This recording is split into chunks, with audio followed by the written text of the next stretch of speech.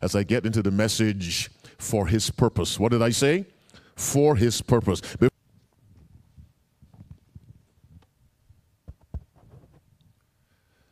The Lord is my shepherd, I shall not want. He maketh me to lie down in green pastures. He leadeth me beside the still waters. He restoreth my soul. He leadeth me in the paths of righteousness for his name's sake. Yea, though I walk through the valley of the shadow of death, I will fear no evil, for thou art with me.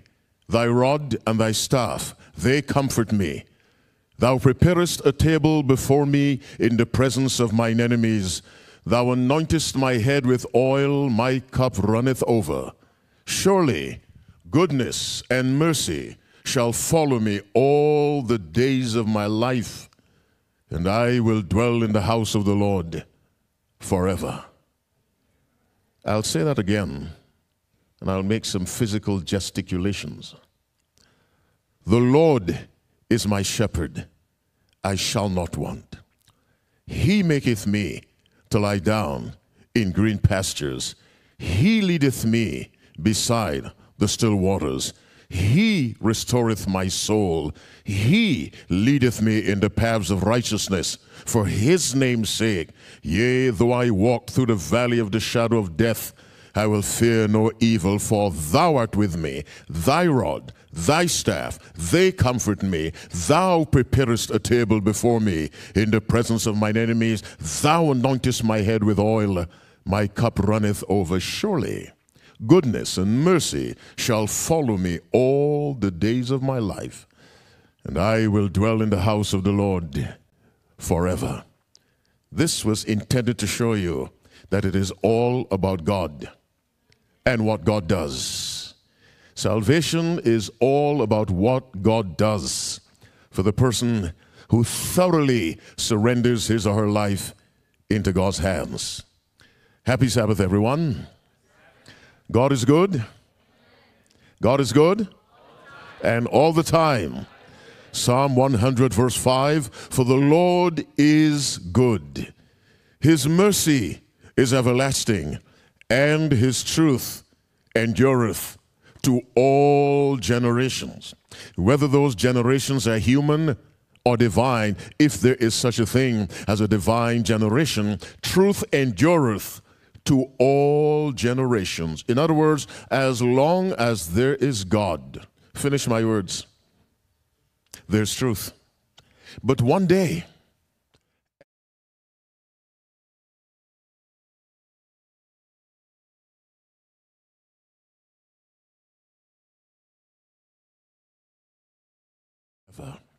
Is anyone among us tonight, you are not a Seventh day Adventist? May I see your hand? Anyone, you are not a Seventh day Adventist. See your hand? Okay. No non Seventh day Adventists? Are there some shy people refusing to identify themselves? Please do that. Who is it? Who?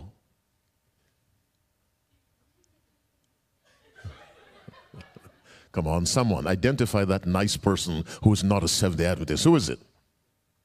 Who? I see two angels without wings. Which one of them are you referring to? Are you a Seventh Adventist? Yes. Oh, please stand. Please. Oh, they have two guilty angels. All right. Uh, what's your name? What's your name? Don't sit yet. What's your name? The one to the right. Okay, Alexis. Yes, I met Alexis. And to the right? Who? Victoria and Alexis. God bless you. Thanks for being here. We are honored by your presence. Let everybody say amen. amen. Say it again. Amen. One more time. God is good. And all the time. Alexis, Victoria, God bless you beyond your expectation. You miss it. Anyone else hiding? Who? Where? Where? Come on, point to the person. This is not a place where violence is practiced. Point to the person. Who is it? Who? I want to get to my message, but not until I find out who that person is. Who is it? Who is who else is not a Seventh Day Adventist? I want to know who you are. Where are you? Raise your hand. Either one. Right or left? There isn't anybody else? All right. Okay. It's not good to deceive the preacher on Sabbath, but okay. All right. God is good and all the time. Thank you, my dear brother Shin, for this uh, invitation. I really mean that sincerely. Uh, yes, I'm busy, but there's some things you can never be too busy uh, to not do. And addressing young people is one of those responsibilities. So I'm very grateful to be here. This is my second occasion on this campus. I was here a few years ago before any of you were born. And um, so I'm here for the second time. May the Lord bless us all as we worship together. You had exams this week, I hope, or today. I hope you did well. The Bible says, Whatsoever thy hand findeth to do it, do it how? Do it with thy might. And that means excellence is Christian behavior, not just wearing long skirts and eating tofu and drinking soy milk. But it is also Christian behavior to practice excellence. If I'm right, say amen. Yes, God is, when God created, He said, and God saw everything that He had made, and behold, it was what? Very good. That is divine excellence. Now, were we made in God's image? Say yes quickly. Yes. Consequently, when we do something, how should it be done? Very good. This is Christian behavior. And many times it has a greater effect on those who are watching than all the preaching you can do. Just excellence in whatever you do. And so I'm glad to be with you. May the Lord bless you. May the Lord bless your parents who sacrifice to send you here. May the Lord provide all the needs that you have in abundance and beyond your expectation. And may you leave this place to go forth to serve God. To serve God. Let me say it again to serve God because that's why you're on the earth. But I will get into that as I get into the message for his purpose. What did I say? For his purpose. Before I begin, if you're not using one of these as a Bible, which it is not, please make sure it's turned off so it does not make any noise. I believe mine is off. I don't want you to say, Physician, heal thyself. So I believe mine is off. Favor number two, while I'm speaking, pray for me and say, Lord, Put your words in that man's mouth. And I mean that with all my heart and soul. Jeremiah chapter 1, verse 9 Then the Lord put forth his hand and touched my mouth. That's the cooperation between divine and human. Then the Lord put forth his hand, that's divine, touch my mouth, that's human. And the Lord said unto me, Behold, I, divine, have put my words, divine, in thy mouth human. It is God's design that the gospel will be preached as a result of cooperation between divinity and humanity. And so ask God to put his words in my mouth. And favor number three should come as no surprise. This is an academic environment. I want you to think. Think as you listen. Isaiah 118, come now and do what? Let us reason together. You see, God is a reasonable God. He has to be a reasonable God to invite us to reason. Satan is not reasonable. But God is reasonable. And so he invites us, come now, let us reason together. And as you do this, the Spirit of God will bless that mental activity. Let us pray. Father in heaven, give me the words, give me the right attitude Give me boldness and give me compassion. If I've offended you, forgive me, I pray. Use me, dear God, as I humble myself into your service and I offer no resistance. Use me as you see fit. Father, bless everyone under the sound of my voice. Bless them in areas they're not even aware they need to be blessed. Let this message touch someone, dear God. Remember our people in Ukraine. I pray first for members of the household of faith and then for the larger population suffering as a result of this invasion. Dear God, wherever your people are in difficult circumstances, be with them, Father, and sustain them as you sustained the Israelites in the wilderness. Again, I ask you, put your words in my mouth. If anyone listening to me is sick, bring relief, bring healing, particularly if that condition is COVID 19 or any of its variants. Hear this humble prayer, dear God. Bless this country. Bless the leaders. Remind them in all that they do of two things, Father. The Most High ruleth in the kingdom of men, and righteousness exalteth a nation. Bless Ouachita Hills Academy Day, God, please. Let this school be the reason why multiplied thousands will be ready to meet Christ when he comes. In Jesus' name we pray. Let God's people say, Amen and Amen. Let's go back to Psalm 23. We read 1 to 3. Or let's read verse 3 for the sake of time. Psalm 23, verse 3. How many of you have the King James Version? Can I see? Uh, you can read with me if you like. What does verse 3 say? He what? He restoreth my soul. Come on. He leadeth me in the paths of righteousness. Finish the verse. For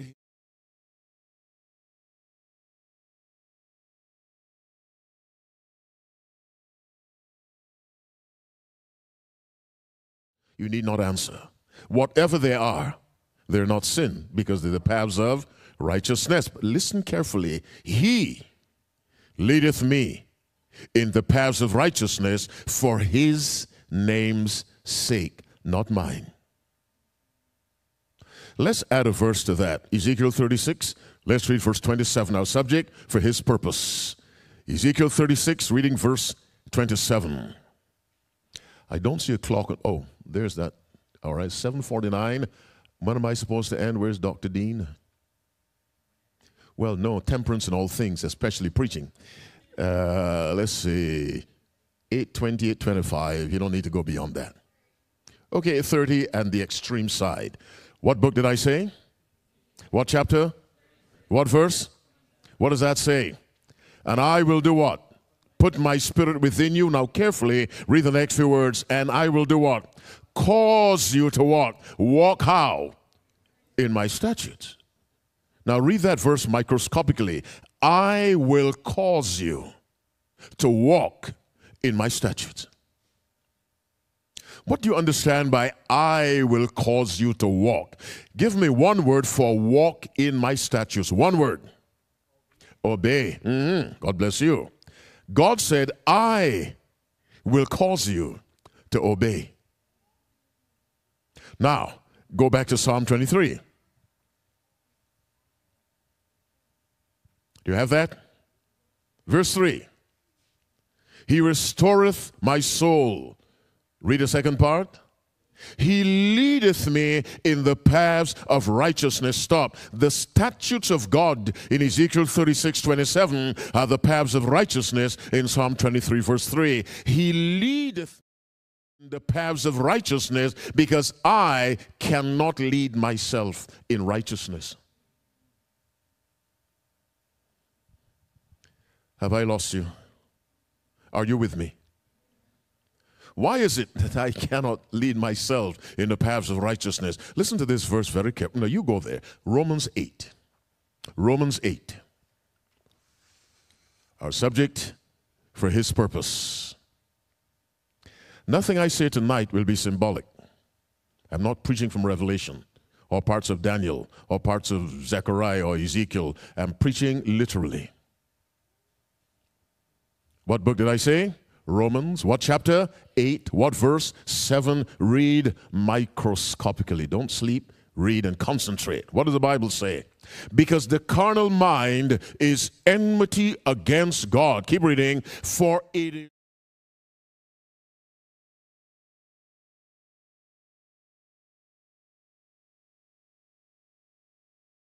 indeed can be impossible. What is impossible? Obedience to God's law purely from the carnal nature. It is impossible. Then you can understand He leadeth me in the paths of righteousness. I will cause you to walk in my statutes. The ability to obey God is the very presence of the power of God within. That's why Paul can say, I am crucified with Christ. Nevertheless, come on, I live. Come on. Yet not I, but Christ liveth in me. This was the experience for Christ himself. Believest thou not that I am in the Father and the Father in me? The words that I speak unto you, I speak not of myself, but the Father that dwelleth in me, he doeth the works. John 14, verse 10, Jesus says, All that I do is actually the work of the Father in me and through me. And you and I must be able to say, like Paul, I live, yet not I, but Christ liveth in me. I'm saying all of that to, to sustain the point. It is God who empowers us to obey. But look at Psalm 23 again. What's the final, what's the purpose of this obedience? Listen again. He leadeth me in the paths of righteousness. Finish the verse. For his name's sake. That's the end. That's the ultimate. His name's sake. Go to Philippians 2. Philippians 2. We read 10 and 11. Our subject, for his purpose. Do you have Philippians? Adventists are called the people of the book. Do we still deserve that title? Nobody answered the preacher. We do? But why are you still looking for Philippians 2? Have you found it? All right, verses 10 and 11. Before I read any more, let's pray again. Father, as I continue to address your beautiful sons and daughters, speak through me, dear God, please, for your glory, not mine. In Jesus' name I appeal to you. Amen. Read verse 10. What does that say?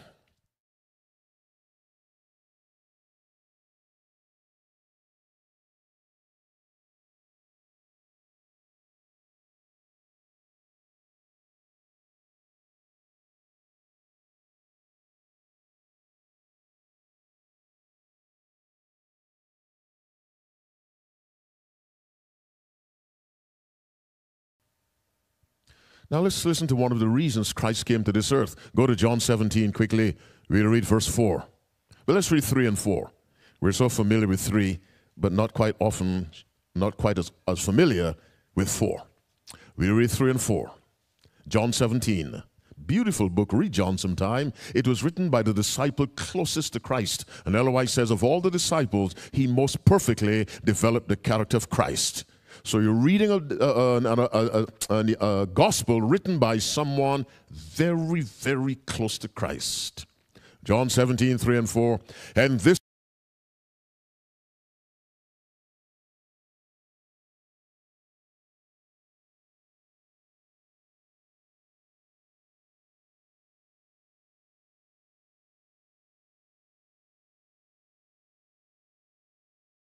the work to be done, Jesus Christ glorified the Father. He leadeth me in the paths of righteousness for his name's sake. That every tongue should confess that Jesus Christ is Lord to the glory of God the Father. Jesus says, I have glorified thee on the earth. Go to Matthew 5.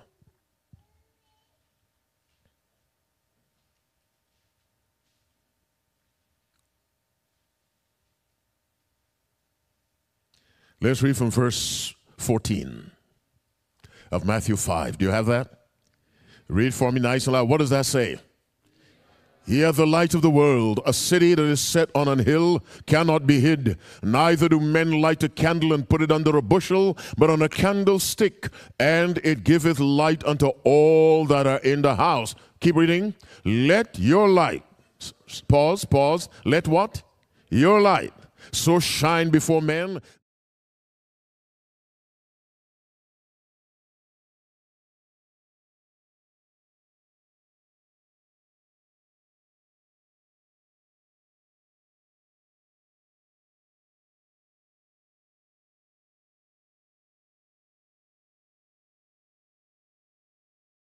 together. And because you are reasoning, let us come to a conclusion that can be defended theologically and logically. He leadeth me in the paths of righteousness. Come on, for his name's sake. I will, I will cause you to walk in my statutes. I have glorified thee on the earth. Every tongue shall confess Jesus Christ is Lord to the glory of God the Father. That they may see your good works and glorify your Father. And I'll add one more. Whether therefore ye eat, come on, or drink, come on, or whatsoever ye do, finish the verse, do all to the glory of God. What have you observed? What is the ultimate purpose for anything you and I do? The glory of God. That's not symbolic. Now, why was Adam and Eve, or why was Adam made? Why was Eve made? Why are you made? Go to Isaiah 43. We've established firmly the glory of God must be our highest purpose in every single thing we do. And there are no exceptions. That's extreme, but it's also literal. Let me say it again. The glory of God must be our ultimate aim, and there are no exceptions. Whether therefore you eat or drink or study or take finals or buy a dress or buy a suit or pursue a romantic involvement, everything must ultimately be, finish my words, for the glory of God. What book did I send you to? What chapter? What verse? Seven. Read that for me. For I have Come on, for I have created him, come on, for my glory. Stop. I have created him for my glory, not his. Conflict and Courage, page 21, paragraph 5, Ellen White. How many of you are familiar with Ellen White? Can I see your hand? Ah, my heart is encouraged. Mm-hmm. Oh, well, well, let me not say what I'm about to say. Conflict and Courage, page 21, paragraph 5. God created man for his own glory. That after test and trial, the human family might become one with the heavenly family. You say, hmm, thanks for that. Do you understand why you're saying hmm? Listen again. God created man for his own glory, that after test and trial, referring to perfect Adam and perfect Eve being tested and tried. He might become one with the heavenly family. God's intention was to blend divinity with humanity and produce one creature. Now, can you imagine what that creature would be? A human being uh, united with God have you ever heard of a liger? What is a liger? A cross between a lion and a tiger, where the, the lion is the father. What is a tigon? A cross when the tiger is the father. All right. Now here's a human being mixed with God. It doesn't make God less God, but it elevates that human being to a level only short of God. Is this mic working? Nobody said amen.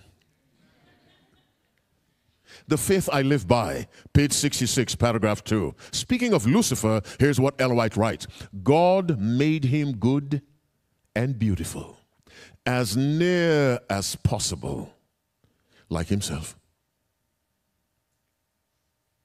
In other words, here's God the Father, God the Son, God the Holy Ghost, equal in divinity, right under them was Lucifer. Listen to Ellen White. God made him good and beautiful as near as possible as himself. The only reason why Lucifer wasn't God is because God cannot be created. But Lucifer came as close to being God as any created being could be. We will take Lucifer's place.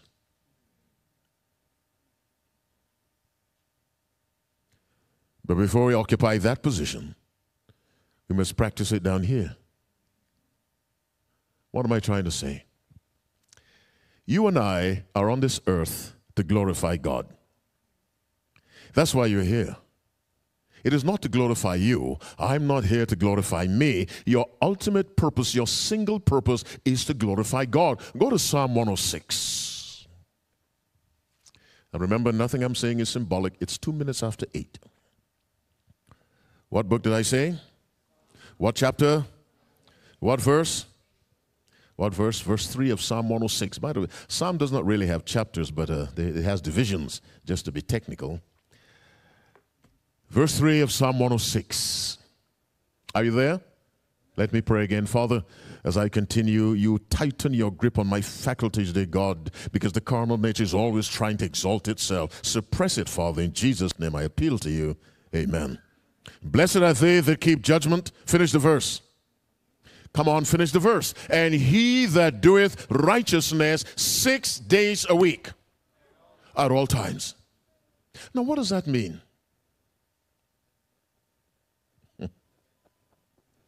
Blessed are they that keep judgment, and he or she that doeth righteousness at all times.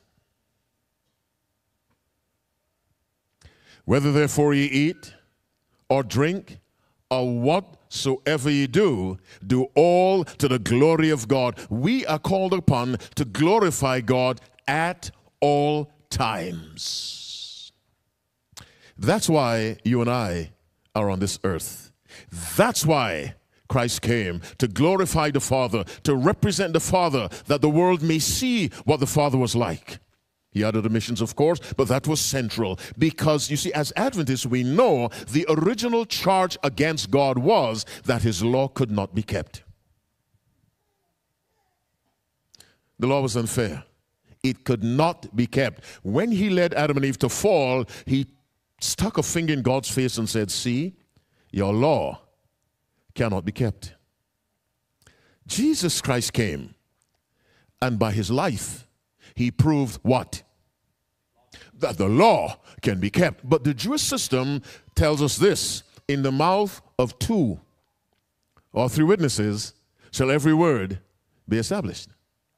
So while Jesus Christ kept the law perfectly, he is only one witness. We need at least a second to demonstrate the accuracy of God's claim his law can be kept. God has one witness, Jesus Christ. But how many Adams are there? Two. two. You didn't have lunch, I understand that. There are two the first and the second. The first messed up, the second came and redeemed the fall of the first. Now, the first represented by us are to keep God's law as Jesus kept it. So that God will finally have what?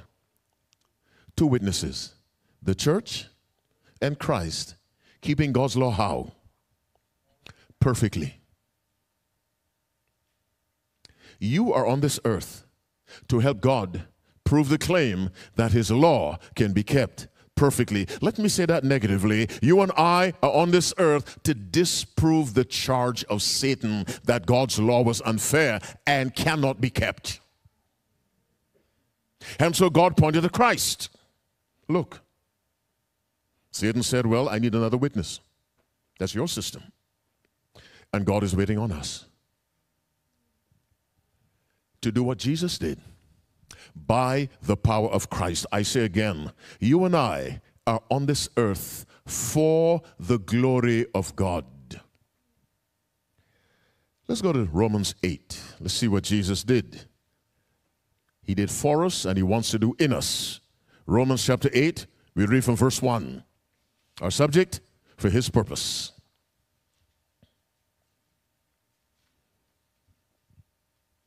Do you have that?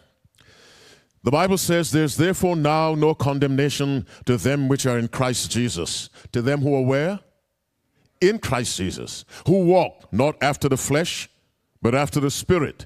For the law of the Spirit of life in Christ Jesus hath made me free from the law of sin and death. For what the law could not do, in that it was weak through the flesh, God sending his own son in the likeness of sinful flesh and for sin. In your condition and mine, keep reading, condemned sin in the flesh, meaning the possession of the carnal nature does not mean you and I have to sin. That the righteousness of the law might what? Finish verse 4. Be fulfilled where? In us. Where was it also fulfilled? In Christ as Christ fulfilled the law in our condition. Surely, if we follow his method, we will fulfill the law as he did. Christ is waiting with longing anticipation for the reflection of himself in his church. Uh, Christ Object Lesson 691. When the character of Christ shall be perfectly reproduced in his people, then he will come to claim them as his own. When God made Adam and Eve, he made them in his image. Genesis 1:26, no need to go there. And God said, "Let us make man come on how? in our image after our likeness. Now listen to a description of the image of God. Just listen. 1 John 3 4 and 5. Whosoever committeth sin transgresseth also the law, for sin is the transgression of the law. Verse 5 And ye know that he was manifested to take away our sin, and in him is no sin. That's Christ. No sin. But the Creator was Christ.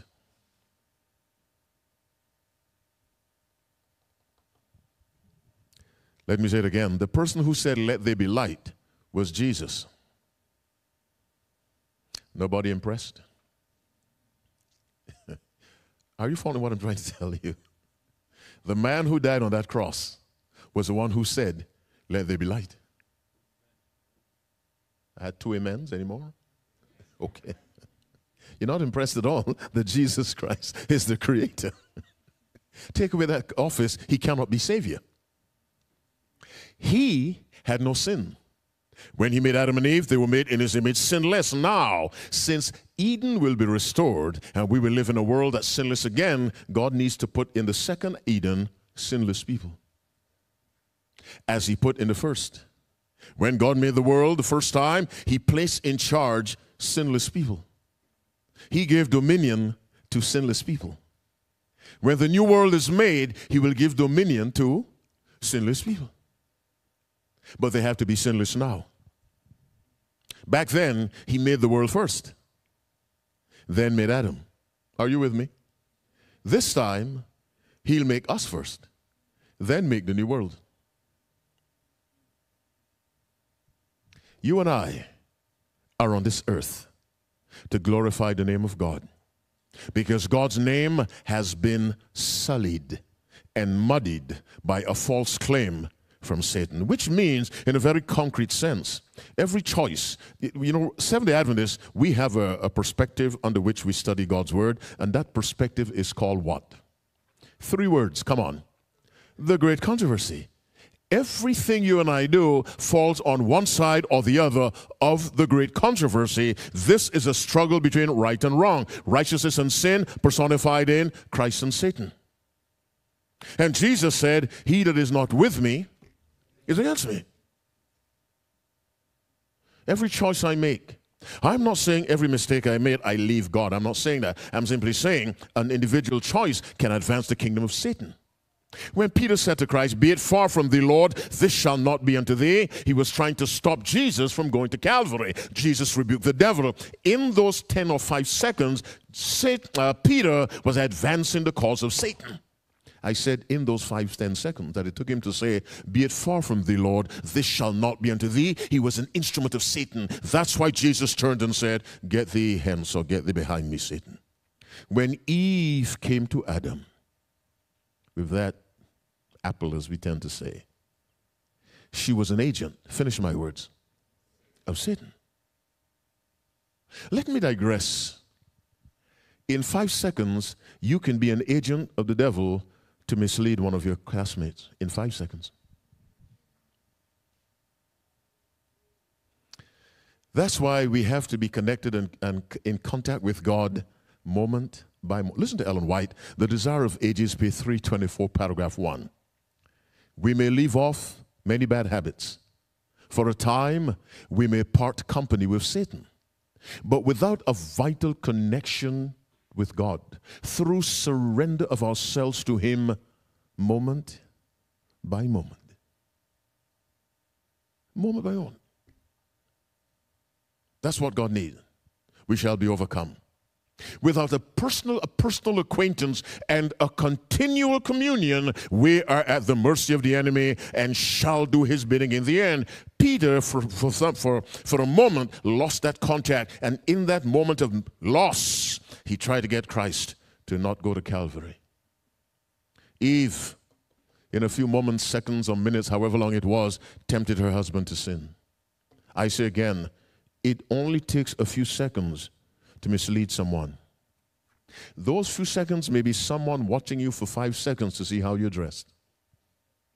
And then goes off and wants to dress the same way. Perhaps the person will never see you again. But what he or she has seen remains, and the person wants to copy it. I'm saying to you, my brothers and sisters, we must do what is right in the sight of God, moment by moment. This is why we're on the earth. A young boy wrote me this week. He said, he said I'm having a struggle I'm, as I try to be perfect. so I wrote back and said, You're expending energy in the wrong direction. Don't try to be perfect, try to hold on to Jesus. Ellen says uh, Christ doesn't call the disciples to bear fruit, he calls upon them to abide. Are you with me? John 15, let's go there quickly, then I'll close. John 15, reading from verse 1. Our subject, for his purpose. When you leave tonight, I want you to understand clearly why you're alive. John 15, reading from verse 1. I am the true vine, and my Father is the husbandman. Every branch in me that beareth not fruit, he taketh away. And every branch that beareth fruit, he purgeth it, that it may bring forth more fruit. Now ye clean through the word which I have spoken unto you. Pause at three. Here's your assignment now. Find out for me how many times you see the word abide between verses 4 and 10. Are you with me? How many times do you see the word abide between verses 4 and 10 of John 15? Let's read. Abide in me, now keep account, and I in you.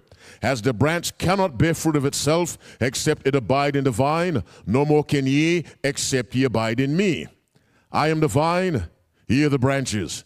He that abideth in me and I in him, the same bringeth forth much fruit, for without me he can do nothing. If a man abide not in me, he is cast forth as a branch and is withered, and men gather them and cast them into the fire, and they are burned. If ye abide in me, and my words abide in you, ye shall ask what ye will, and it shall be done unto you. Herein is my Father glorified, that ye bear much fruit, so shall ye be my disciple. As the Father hath loved me, so have I loved you. Continue ye in my love. If ye keep my commandments, ye shall abide in my love, even as I have kept my Father's commandments and abide in his love. Stop. Give me the results of your assignment. How many times? You're both wrong with a capital W.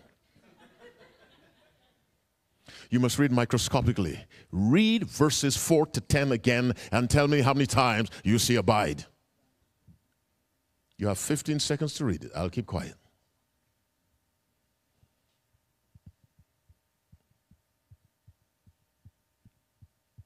Hmm. How many? How did you come up with 10? The word continue is the same thing as abide, same Greek word meno, but I would have been satisfied with nine, but it's actually 10. In verse 9, the word continue means abide, just a variation in the expression. 10 times Jesus says what? Abide. Come on, abide. Come on, abide. Give me a synonym for abide. Another word means the same thing. What? Continue. Give me another word. Remain Give me another word, four letters. S T A. How many clues do you need? Why? Stay. Now that's where we fall. So I told that young man, don't try to be sinless today. Try to, come on, abide. And Christ will produce what you cannot. When you attach a branch to a main trunk, it is what flows through the main trunk that flows into the branch. I didn't say that clearly, it's my fault. Let me rephrase my thoughts. If you're a gardener, what's the word when you attach a branch to a, what's it called? Um, graft. Uh, we have a genius on the left. Grafting. Whatever that branch produces is a result of the work of the trunk. Are you with me? the trunk produces the nutrients the branch needs to produce fruit. It works spiritually. When you connect to Christ, whatever flows through Christ flows through you. Now hold on to your seats. What kind of life flows through Christ? Eternal life. Give me another word. What kind of life? What kind of power flows through Christ? Everlasting, okay, everlasting life. What kind of power? Starts with a D, then an I, then a V, then an I. Divine power. Then what power flows through you? Because that's the only power that can conquer sin. Did you hear what I said? The only power that can conquer sin is divine power. That's why we read in Isaiah, uh, Ezekiel 36, 27, I will cause you to walk in my style. You can't do that. How can a carnal person keep a divine law? I will do, but you must surrender to me.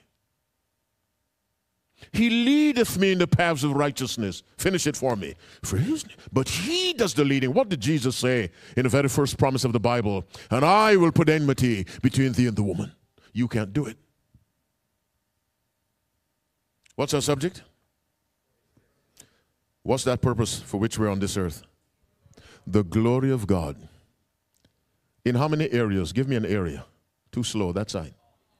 Give me one, give me one, that side. Eating, drinking, dressing, come on. What? You're in another zip code, I can't hear you. What do you say? Academic, yes. Give me another one. Conversation, come on. What? Relationships, yes.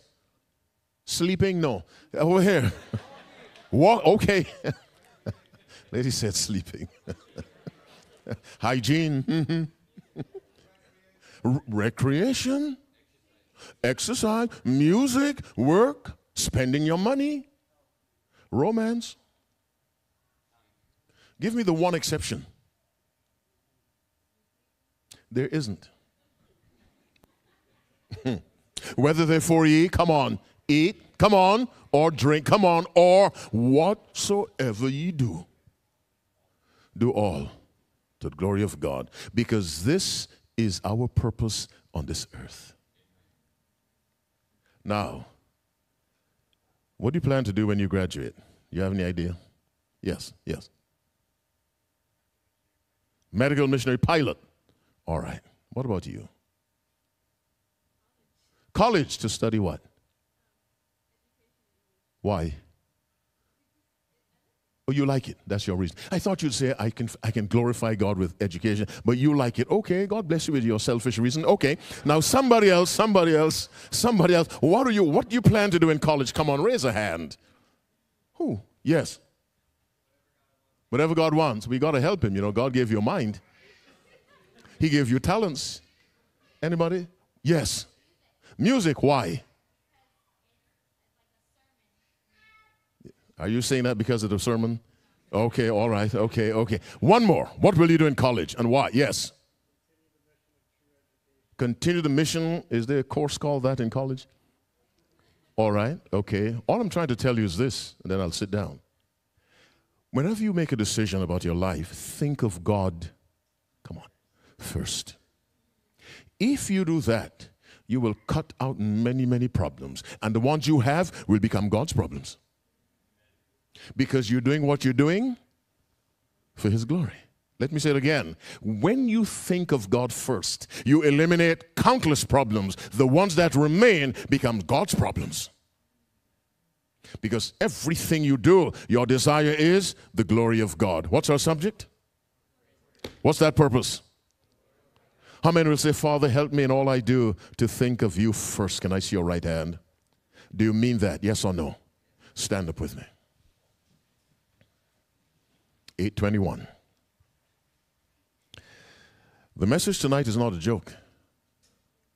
That's how we ought to live. Will this please God? Will that please God? In the book Acts of the Apostles, page 203, paragraph 3, Ellen White writes about Timothy Timothy was a mere youth when he was chosen by God to be a teacher, which means he was a teenager when God called him to teach. How old was Christ when he taught PhDs about the Bible? 12. How old was Josiah when he began to reign and he did that which was right in the sight of the Lord? 8. How many eight year olds are present tonight? What am I trying to say? Being young should not be synonymous with frivolity and video games and giggling 24 hours a day. Being young can mean heavy responsibilities. There are 18 year olds, 19 year olds running uh, nuclear submarines on the high oceans.